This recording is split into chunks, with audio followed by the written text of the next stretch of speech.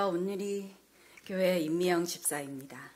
저도 오늘처럼 8년 전 이 행복축제에 초대되었다가 믿음 생활을 시작하게 되었어요. 저는 일남일녀의 장녀로 태어나서 평범한 가정에서 자랐고 저희 집 종교는 불교였어서 교회를 다녀본 적은 없습니다. 예수님 믿기 전 저는 굉장히 당당하고 자신감이 넘치는 사람이었어요. 그 이유는 내 인생은 나의 노력 여하에 달린 것이고 내가 얼마든지 내 운명을 개척해 나갈 수 있다는 신념이 강했기 때문입니다. 그래서 저는 누구에게 의지하는 건 생각도 안 해봤고 항상 저를 의지했고 저를 믿고 살았습니다. 그렇게 인생을 살아오다 초등학교 동창이었던 남편을 만나 결혼을 하였는데 결혼을 결심했던 이유는 자식은 그 부모를 닮는다는 말을 믿고 시부모님의 인품에 반해서 결혼을 했습니다. 저는 남편이 성실히 직장을 다니기 원했지만 남편은 늘 사업에 손을 대었고 그 사업이 어, 계속해서 실패로 가정의 위기에 어, 처하게 되었습니다. 어느 날 집에 들어오면 빨간 딱지가 온 가구에 붙어 있었고 어느새 큰 금액의 빚으로 길에 나앉게 되는 상황까지 가게 되었습니다. 저도 경제 활동을 하면서 경제적으로 큰 마이너스 상태를 안간힘으로 복구해 보려고 했는데 감당이 안 되었고 그러면서 어, 부부의 불화가 심화가 되기 시작을 했습니다.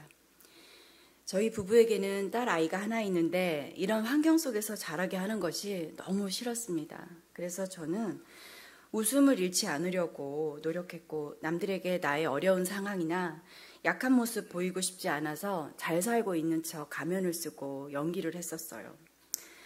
힘든 상황이 지속이 되다 보니까 저는 지칠 대로 지쳐갔고 겉으로만 웃고 있는 이중적인 저의 모습을 보면서 제 자신이 너무 싫었습니다. 그러던 어느 날 동네 옷가게에 갔다가 환하게 웃는 여자 손님을 알게 되었어요. 느낌이 참 좋은 분이시지만 목사님의 사모님이시라는 말을 듣고 거리를 둬야겠다 마음을 먹었습니다. 왜냐하면 저를 전도할까봐 피하고 싶었던 거예요.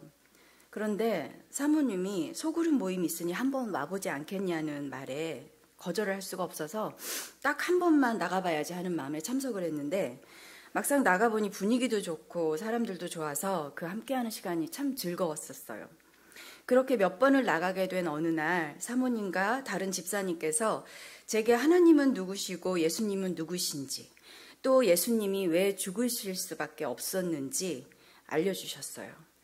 그날 그렇게 복음을 듣고 예수님을 영접한 후 함께 기도를 해주시는데 그렇게 눈물이 날 수가 없었어요. 왠지 제 마음에 있던 아픔과 근심들이 씻겨져 내려가는 것 같았어요. 아, 내가 찾던 게 이런 건가? 인생의 답이 여기에 있는 거 아닐까? 왜 이렇게 눈물이 나지? 이런 생각이 들었고, 아, 난 절대로 안 간다던 교회에 대한 거부감이 사라지는 것을 느꼈습니다. 그리고 사모님께서 주일날에 교회 한번 나와보라고 하셨고, 한 번만 나가보자 이렇게 생각을 하고 교회에 나오게 됐는데 그날이 오늘과 같은 행복축제였어요. 설교를 듣는데 말씀이 저를 깊이 위로하면서 너 얼마나 힘들었니? 너 혼자서 얼마나 했었니?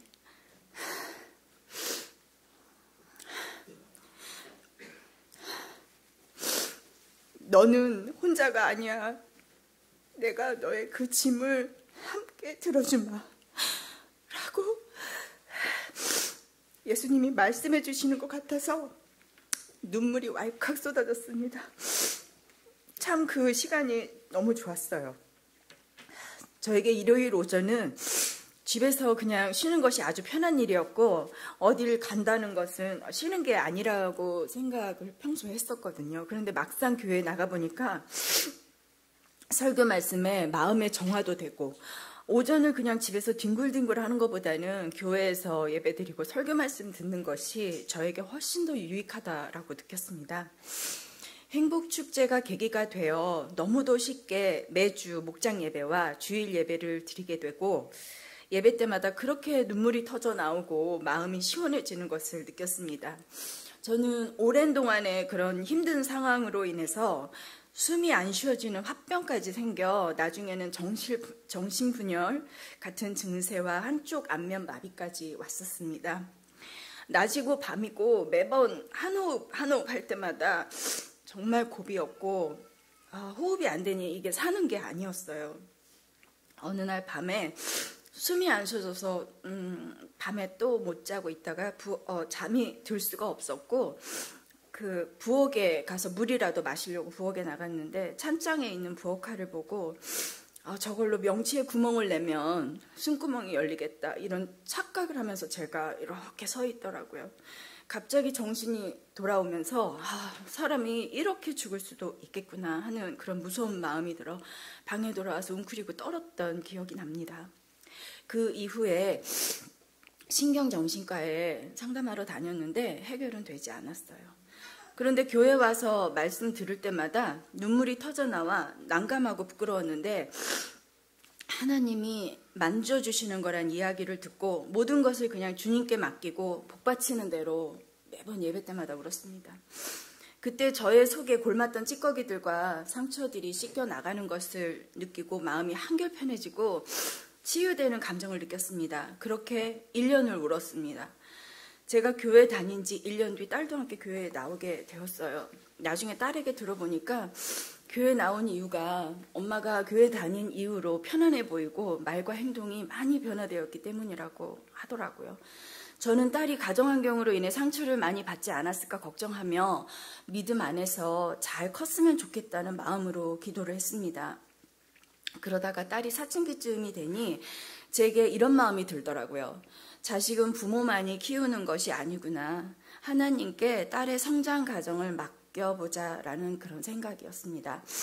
딸은 교회에서 적극적으로 신앙생활과 활동을 하면서 저보다도 더 교회에 머무르는 시간이 많아지고 믿음 생활을 너무 잘하는 것을 보고 정말 감사했습니다. 딸을 보면 넌 진짜 하나님이 길 열어주시고 너 이끌어 가시는 것 같아 라는 말이 그냥 나올 때가 참 많습니다. 본인도 하나님이 해주신 게 많다고 동의합니다. 현재는 자신이 원하는 꿈을 위해서 꿈꾸던 영국 유학을 하나님의 은혜로 얼마 전에 갈 수 있게 되었는데 얼마나 감사한지 모르겠습니다. 처음 교회 다니면서 1년 동안 흘린 눈물은 그간 내 안에 눌려있는 여러 부정적인 감정들, 아픔, 상처, 어둠, 우울, 불안, 두려움의 눈물이라면 지금 흘리는 눈물은 저를 하나님의 자녀 삼아주셔서 제게 평안 주시고 제게 모든 일을 감당할 힘을 주셔서 기쁨으로 웃으며 살아갈 수 있게 해주신 하나님께 감사하는 눈물입니다. 하나님을 더 알고 싶은 마음에 또 저의 신앙 성장을 위해서 매일 큐티를 하기로 마음 먹었습니다. 큐티 말씀 읽고 묵상하면서 저는 제가 여전히 내 미래, 내 안위, 내 행복에만 집중하며 살고 있다는 것을 깨달았어요. 그리고 예수님을 믿는다고 하면서도 여전히 어떤 문제를 결정하려면 내 생각과 눈에 보이는 현실이 먼저였고 하던 습관대로 일을 처리하는 제 모습을 보게 되었습니다. 제 삶의 우선순위가 내 자신이었고 그 다음이 이웃 하나님이었던 것입니다. 이 순서를 하나님, 이웃, 그 다음에 나로 뒤집어서 이해하고 인정하는데 시간이 좀 걸렸지만 이제는 나를 위해 살기보다 하나님이 기뻐하시는 일을 하며 살고 싶습니다. 그렇게 살 때 하나님께서는 제 필요를 이미 아시고 다 채워주신다는 것을 경험하게 되었거든요. 제가 예수님 믿고 제 삶이 달라진 것처럼 오늘 이 자리에 오신 여러분 중에도 마음이 어려우시고 지쳐 있거나 기댈 어깨가 필요하신 분이 계시다면 저처럼 그 대상을 예수님으로 바꿔보시면 어떨까요?